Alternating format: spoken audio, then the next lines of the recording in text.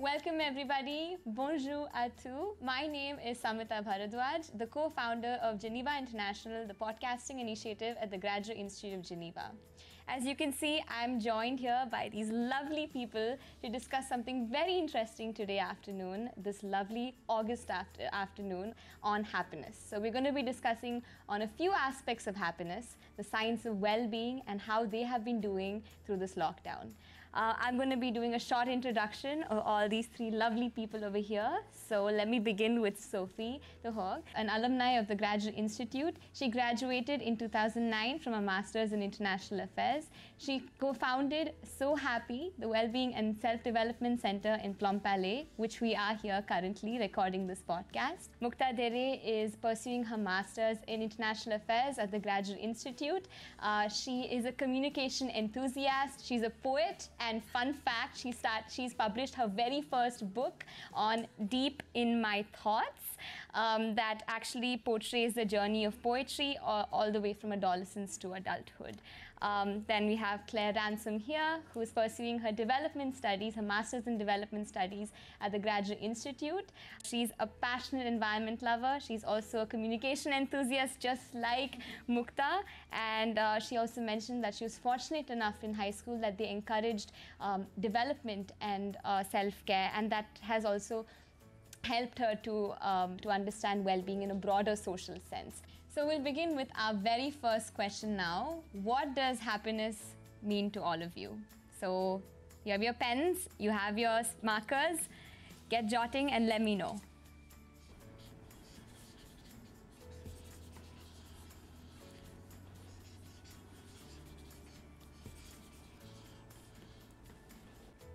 Okay, show them. All right, so Mukta, what was micro about? Happiness is micro because happiness lies in this intricacies, in the little things, and they're very, very important. So, yeah, I believe happiness uh, can be found in the daisy that you observe um, through the sidewalk, or when you just make through the green light signal, or you come back home to a cozy bed after a long, tiring day.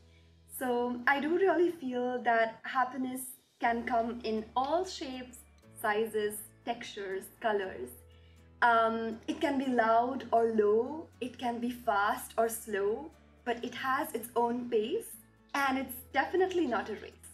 Wow, lovely. I mean, what about you, Claire? What do you have? So, first of all, thank you. So that was beautiful. Uh, and I wrote lightness because I really believe that happiness is a feeling of lightness, a lightness of soul, a mm-hmm. lightness of being. And I completely agree that it's in the small moments, in these sort of micro seconds of our lives, and that then can last for just that one second, or it can go on for minutes or hours or days, even that you can just sort of float away almost, that the weight that's pulling you down from your day to day activities disappears, and you just, you're present, you're light, and you could almost float. Mm. And then the, the ever presence, the, the being present in moment was very much similar to yours, right? So yours was here and now. Yes, indeed. I actually wrote two words instead of one. I hope it's okay. Yeah, no. I did write here and now because I believe that it is key to stay in the moment. Hmm. That you can be doing pretty much everything. It can be very small things or it can be very important things. You can be playing, you can be working. But that what matters is to actually be here and now. I would say that it's especially important for human connection, meaning that you see, like we are here and now together. We're not thinking about what you did yesterday or your plan for the evening. It's it's both a sign of respect to the person with whom you are, but it's also a way, I would say, uh, a highway to happiness. To stay in the moment, to be here. Yeah. Wow. In, in just in relation to what both of you said, it just came to my mind uh, a very beautiful quote from Alice in Wonderland. How long is forever? Sometimes just one second. So And coming from that point that there are different definitions and different meanings, different uh, facts also about happiness, uh, there are a lot of things that people get wrong about happiness. So there are certain misconceptions. Um, happiness is supposed to be sort of this one thing where you get a lottery check or you get a great grade uh, in your uh, exam paper, you probably get a job. Of course, these are some things that are important, but again, this could be sort of a one size fits all sort of a definition, which happiness is not, right? So, what could you guys tell me? What are the misconceptions about happiness? So, let's start with Sophie here. Would you have anything? Yeah, actually, I, I think that uh, what you mentioned is totally true that it's not about winning the lottery or even mm. getting good grades. And I think one of the main misconceptions about happiness is that it mostly depends on external things, mm. which is everything that you listed, you know, like grades or something external, winning the lottery is something external. I would even go further as finding true love or mm. even being in good health. Mm. So these are all things which we believe are kind of prerequisites for us to be happy.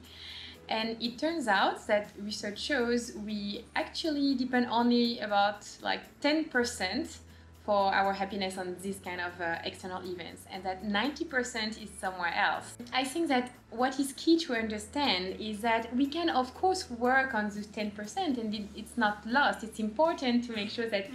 you are happy with your job, that you're very happy with your partner, that you have the necessary amount of money to do what you what you think is key for you mm. and also to work towards your health. These are things that are important, but they are not making the bulk of your happiness. So um, the bad news is is that more or less 50% of the rest is uh, is genetic. So mm, like born more or less happy, and, and you probably know like people are super cheerful, and some others which are kind of you know like grouches and, and very hard to make them smile. So it doesn't mean that we are at zero or 50% mm. about this part. It's more like we're all in between. But working on that, you can think, like, yeah, but there are 40% remaining. If they're not about our genetic and they're not about what happens to us, what is it about? And and I think the misconception about happiness is to forget about this 40%, to forget that we are actually on the driver's seat. We can do a lot because those 40% are about practice, they're about perception, they're about expectation, and they're about our habits. What are our happy, uh, happiness habits? What do we do every day?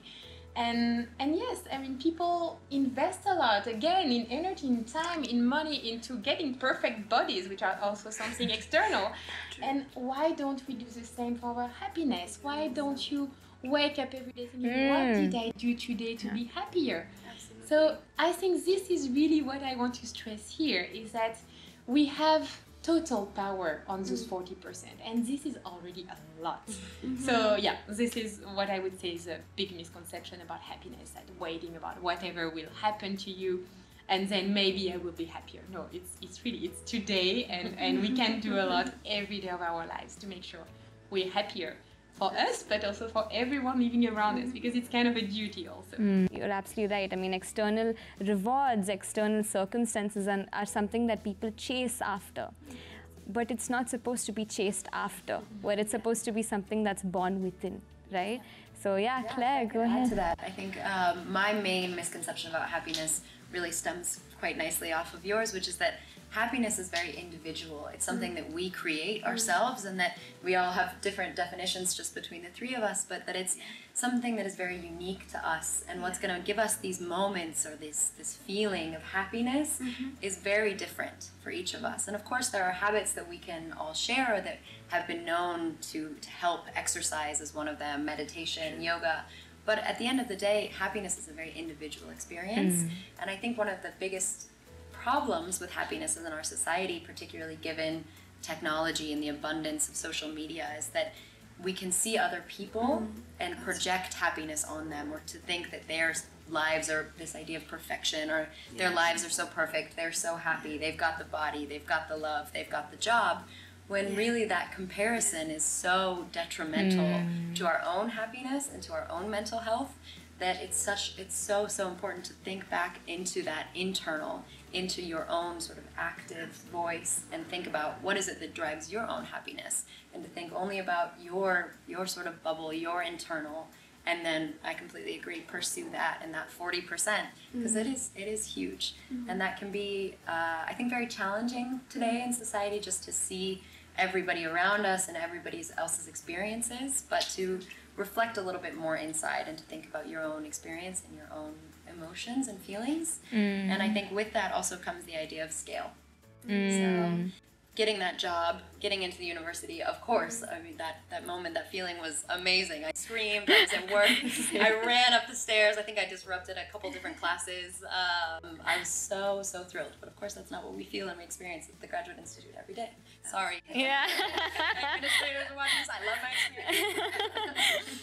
but of course, that it's you're, we can't pursue those huge moments every day. That's just not sustainable. But that doesn't mean that we can't be happy in our everyday lives, and that knowing the different levels of scale of happiness and knowing that it can just be a very micro thing, a very sort of mm-hmm. small, fleeting moment, but that doesn't make it any less important. And so knowing how to sort of pursue those moments and how to create that and to have those feelings no matter what situation you're in mm. is so, so crucial. Yeah, absolutely. I mean, I, I completely relate to that. When it comes to little simple things that you had mentioned, that being profound, being that are profound, that are very simple, and the micro things. And as you related, it's the lightness that carries in the moments that matter. What about you, Mukta? I would like to talk about the destination addiction that this age is the victim of. And what is a destination addiction? We're always waiting for Friday, for summer, for the perfect partner, for the perfect job, like you mentioned. And we kind of believe that the construct of a construct in our mind is that we would achieve happiness when we get that thing, when we go there. You know, we are living in the age of TGIF. Thank God it's Friday. Yeah. No, every day is happy if you make it happy. Wow. So I think that if your ultimate destination is happiness, then one must make it a habit, a ritual, and not a not not something you chase after, like you mentioned. It's it's to seek um, and not to chase after. So yeah. Lovely, lovely. Uh, very wise words from all of you. So that ends our part one of this podcast on happiness in lockdown. We covered two main questions on this part. What does happiness mean to you? And what are the misconceptions about happiness? Now, before we move on to the next part, we wanted to ask what does happiness mean to you? Comment down below and let us know. Catch us on our next part two of this podcast, where we look at another question about happiness in lockdown. We hope you enjoyed this part, and we hope to see you soon. And stay happy. Bye bye.